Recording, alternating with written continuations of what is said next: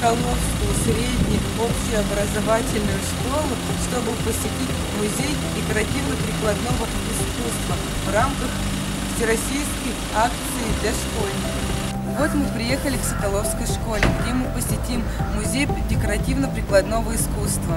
Ну что ж, идемте.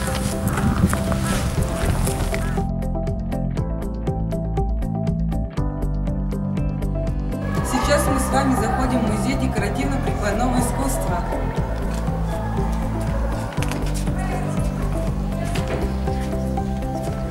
Музей декоративно-прикладного искусства. Знакомясь с экспонатами музея, мы восхищаемся бессмертными творениями великих мастеров искусства и думаем о тех людях, которые собрали воедино и сохранили то, что теперь составляет гордость нашей школы, района, области, страны. Именно таким человеком и является бывший директор школы Завьялова Александр Иванович. Это под его руководством началась работа по теме «Наше Отечество» в начале 80-х годов. Более 50 экскурсий совершили наши учащиеся и учителя, знакомясь с народной культурой. Собрали изделия более 30 промысл России и организовали музей декоративно-прикладного искусства. Профиль музея художественный. Площадь музея 60 квадратных метров. Количество экспонатов около полутора тысяч.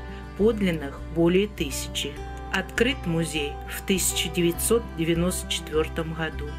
В 1996 году получил статус «Школьный музей». Наш музей является областной экспериментальной площадкой много лет. Руководитель музея Полянских Надежда Ивановна с 2002 года. Разделы экспозиции, подлинные изделия народных промыслов, архитектура, изделия наших ребят. Экспозиция керамика представлена следующими центрами. Рамони, Воронежского керамического завода, Ленинградского завода имени Ломоносова, Иртиля, изделие художника Тупицына, Гжели. Синие птицы по белому небу, море цветов голубых, Кувшины и кружки, были или не были, изделия рук золотых. Синяя сказка, глазам загляденье, Словно весною капель, Ласка, забота, тепло и терпение, Русская, звонкая гжель. Скопин – диковинные сосуды, у которых тулово может быть в виде веселых и занятных зверей. Такие чудо-сосуды народного гончарного искусства продолжают жить сегодня в Скопине, на Рязанской земле. Здесь лепят кумганы в виде птиц и медведей, у которых ручки и носики напоминают змей. Делает кентавров, несущих на спине сосуд, а также сосуды в виде львов. Экспозиция игрушки – представлена Филимоновской свистулькой, Абашевской, Дымковской игрушкой. Не птица, а сказка и сказочный конь. От щедрости красок горит, как огонь.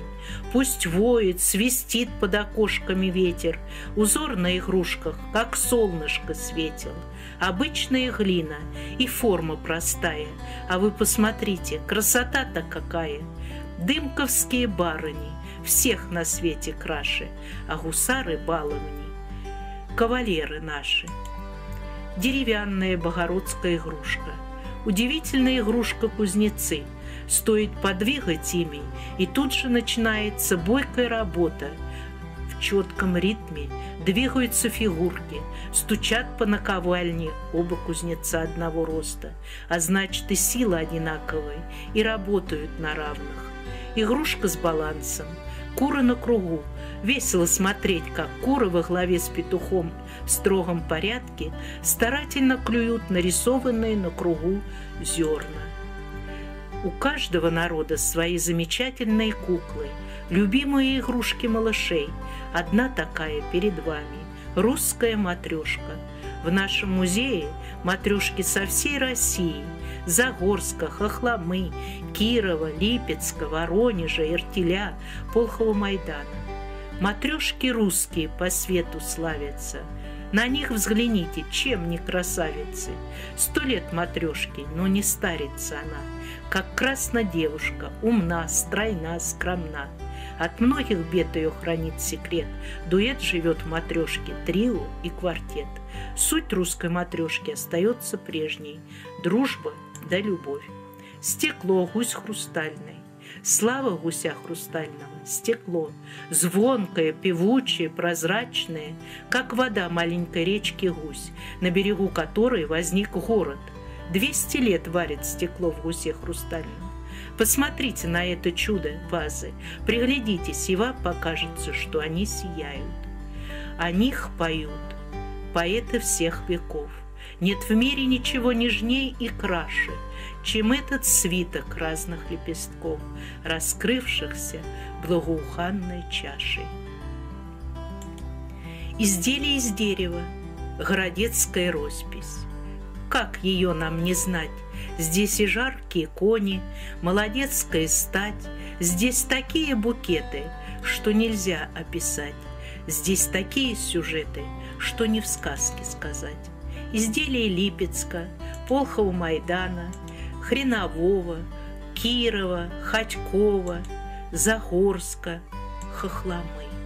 Как музыкант извлекает бесконечное разнообразие мелодий, так и хохломской мастер создает каждый раз новый узор, передает иное настроение.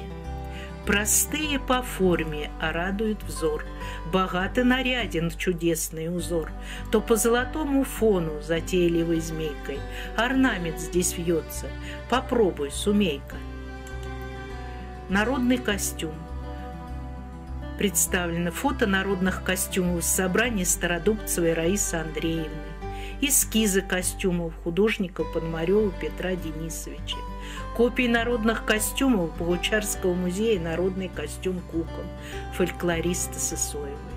Как к лицу тебе этот старинный наряд, и сорока, и в блестках жемчужин Панева, а сама-то величаво выступает будто пава, действительно, Женщина в таком наряде не идет, а выступает величаво и плавно.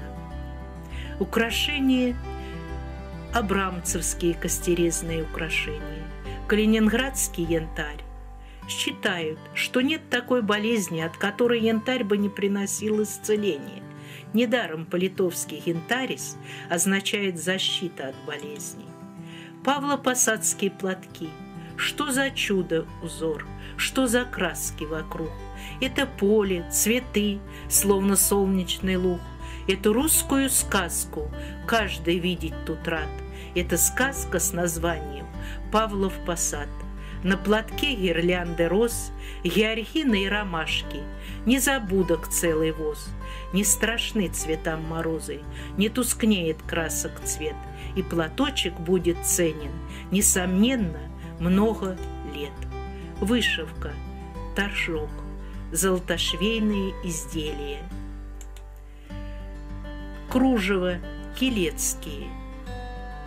Разве вам не хотелось бы украсить чудо кружевами свою одежду? Ведь именно такая деталь, как кружево, придает любому из нас свой особый стиль, свою неповторимость. Лаковая миниатюра – это пудреницы, броши, шкатулки. Из Федоскина, Липецкого финиста, Палиха. Ожили краски и в душу запали.